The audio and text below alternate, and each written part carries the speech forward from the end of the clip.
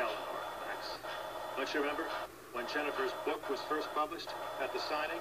Oh, yeah, that good-looking, feisty boy at the front of the line who demanded a free copy. I remember that. She said she shouldn't have to pay because she invented me. I tried to get a telephone number. Couldn't score. I can't believe she's going to Every time I sit down to write, I feel Biddy looking over my shoulder, pushing me, cajoling me, encouraging me. Well, that won't change. She'll always be there for that.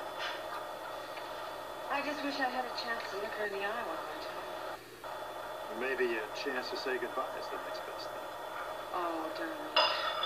Kingman's Ferry's a long way away. I know. But Eleanor isn't.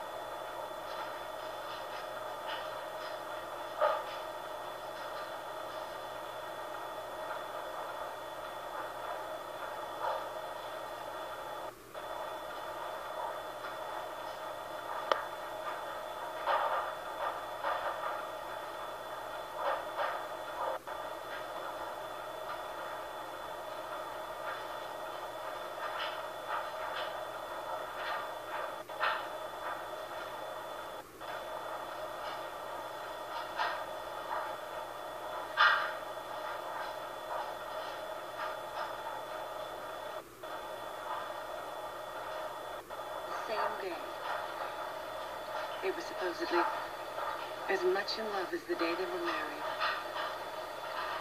That must have been a hell of a kiss.